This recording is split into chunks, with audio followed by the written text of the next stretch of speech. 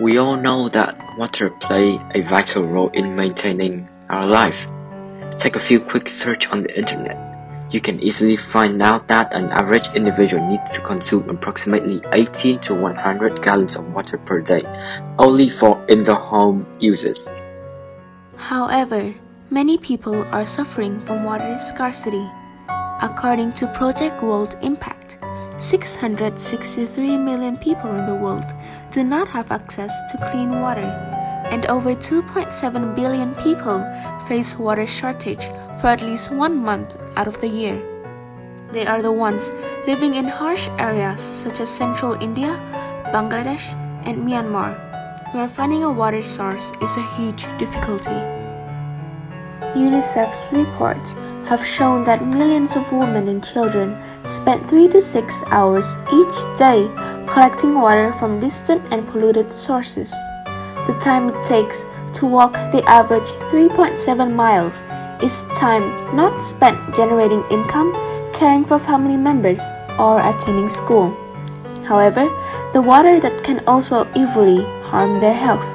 According to Evidence Action, about 480,000 of children under the age of 5 died annually from preventable diseases relating to contaminated water. In Vietnam, even though there are 2,732 rivers, the situation is still alarming.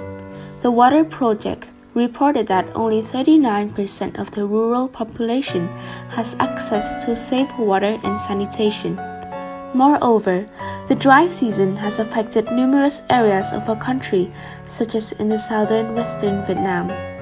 There are reported that in the Mekong Delta, drought and water salinity are threatening the lives of 180,000 households. This issue does not only negatively impact the life of an individual, but also disrupt the farming season, threatens the life of animals and numerous families. Researchers from Province Department of Agriculture and Rural Development show that during the year 2019 and 2020, dry season, saltwater intrusion, and drought in the Mekong Delta province of Tra Vinh caused a total damage of 1 trillion VND to agriculture production. Currently, mainstream solutions to this problem like manual accessing or rainwater harvesting would not be efficient or helpful. Studied by Science Daily, areas with high salinity in water cause unexpectedly high level of air pollutants. Therefore, rainwater may consist of these harmful particles and may cause serious health issues. Besides, having to walk to rivers, streams, and wells requires time and strength, in which people living in this area tend to lack due to the harsh environment and living conditions. Therefore, we have developed a solution to solve this issue of water shortage that does not harm the environment. Acknowledging the infinite source of water in the air around us, we search for ways to exploit this source using physics principles. Condensation, the process where water vapor becomes liquid at a dew point, the temperature at which condensation happens. This natural phenomenon occurs anywhere and anytime. For example, water droplets on the outside of a cold water glasses, or soda cans, or maybe outside of grasses, lawns, cars, or windows in the early morning. As a result of researching and brainstorming, we came up with WinA. Our machine, WinA, includes the air filter, a heating system, a cooling system, and a water filter tank. First of all, the air will go through the air purifier, which consists of a purification membrane and an air intake system. The suctioning system takes in air using an electronic fan. The air will then be passed through five different membranes. The first membrane, also known as the pre-filter, stops all the dirt, hair, or huge physical materials. The next three membranes are called the medium filter, in which the second membrane filters toxic gases and unpleasant smells. The third membrane gets rid of yellow dust, Legionella flu bacteria, and the fourth layer further controls the harmful scent, such as from cigarettes. The last layer, which is called HEPA, filters out fungal bacteria that are harmful for our health. The filtered air will now be heated by our underfloor heating system, consisting of wires wrapping the air duct. When electricity passes through, it will convert to electric heat to evenly warm up the air. This process of heating the air up before cooling it down speeds up the whole procedure. This happens because hot air tends to float up quicker. Besides, the high contrast between the hot air and the following cooling system increases the speed of condensation. The ideal heating temperature is 100 degree Fahrenheit or around 37 degrees Celsius. After reaching this point, the heating system will maintain the temperature. When the air heats up, it can easily flow through and up the air ducts. Then the hot air will come in contact with a cold surface, thus condensation happens. This cold surface will be placed diagonally so when the water forms, it will slip from high to low areas of the surface. The cold surface is cooled by the cooling system made from chip Peltier, which is a small semiconductor plate. It has two phases, one to heat and another to cool the air. To be clear, this small, light but powerful semiconductor plate absorbs heat from the top side and discharges it to the other surface. So, the more effective the top side at heating, the better the other side can cool the air. If we put in enough energy, it can eventually go below 0 degrees Celsius and form ice. This technology can be seen in various refrigerators, regulating air conditions and temperature.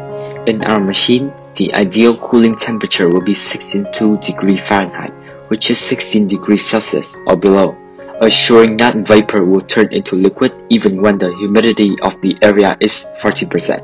As soon as vapor condenses into water, they will flow with a cold film and into the tank. This tank includes a filter to get rid of the dust and toxins that manage to pass through the air filter. After the filtering process, clean water will be accessible by using a tap on side. There will also be a monitor on the side displaying the amount of water in the tank at the moment. About the benefit of our machine, firstly, both air and water is filtered throughout the process, thus ensuring the quality of the water for daily life. Water can be used at the moment it is condensed into liquid matter. Secondly, this is a long-term solution for the problem. Air and water filter can be replaced every 3 months all other parts can be cleaned and sanitized. Thirdly, this will save the user time, effort, and finance. Since the source of water is in the air, it can be accessed within the area without having to travel to domestic water sources. Lastly, our machine is suitable for Vietnam's environment or anywhere with high humidity. Vapor in the air will be absorbed and then transformed into liquid form decreasing the humidity. Considering Vietnam's environment, especially in the winter, these machines will be extremely useful. Our machine can be easily moved to different areas because it has a moderate size and shape, which base is around 3 by 3 meters. Not only that, the main material which makes up the machine is PVC plastic, which is reusable, cheap, and easy to manufacture and is one of the most abundant type of plastic in Vietnam. With humidity levels from 80 to 100%, Vietnam is a suitable country to put our machine into use. In some areas that lack water but have a high humidity, such as the Mekong River Delta or the northern mountains of Vietnam, are ideal regions to use this machine as well. In the Mekong River Delta, the water is contaminated with salt. To be specific, according to the Vietnam Irrigation Science Institute, all areas in contact with the sea have a water with salinity of 24 grams per liter and even higher. And the standard level in fresh river water is less than 0.06 grams per liter. Furthermore, salt intrusion into the mainland is also an alarming problem. These high salinity levels can severely impact crop fields. However, this area is characterized by humid tropical climate and subequatorial climate, with average humidity ranging from 75% to 85%. Therefore, in this context, our machine can reach its full potential here, benefiting from the high humidity level and the low amount of fresh water. In the northern mountains, areas where people can get access to clean water are usually quite far away from the towns. Except for a few wells, people would have to travel to streams and rivers to get water. But with our machine, people can use it during the morning or leave it on overnight, so they can get a vast amount of water on the following day. As we can clearly see, our machine can be used to effectively solve the problem of water shortage in many regions of Vietnam. About the problems that our machine can encounter. First of all, it requires a long time to filter the water. Secondly, to receive plenty of water, electricity is required in return.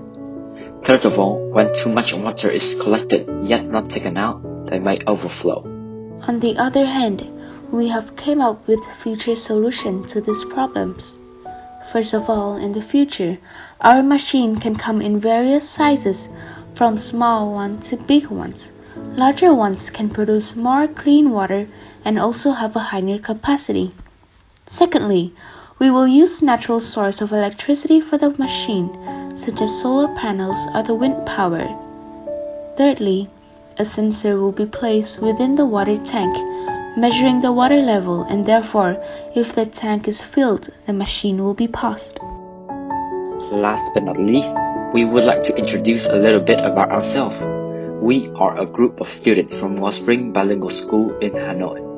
Inspired by the desire for water of people in many Vietnamese regions, it will be our honor to bring our innovation to the public. As most of you might wonder what our machine names mean, well, it is quite simple. Basically, WinA is an acronym which stands for Water in Air. This is the core idea behind our machine, which refers to the high humidity in the atmosphere in our country that we can effectively utilize.